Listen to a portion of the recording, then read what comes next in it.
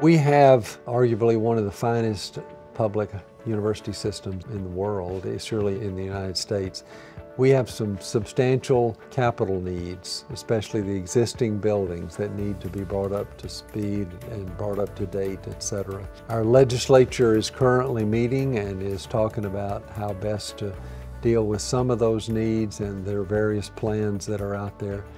As long as we get those needs met, I'm pretty indifferent as to the best way to accomplish it. I know there are other needs for funding in our state and, and we don't want to be uh, acting as though we are oblivious to that. Ultimately, what I think needs to be gotten to is what's an annual amount that we can uh, be relatively assured of so that we can over, say, the next 10 years deal with this backlog that's there. The number that's thrown out is that we have a 3 billion or whatever accumulated need.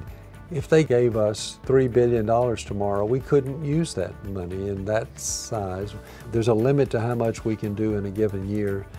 And so much more important than one big bolus of money is a continuing stream that's relatively predictable that can be used by our finance team and our operations team and the construction workers of North Carolina to get the job done.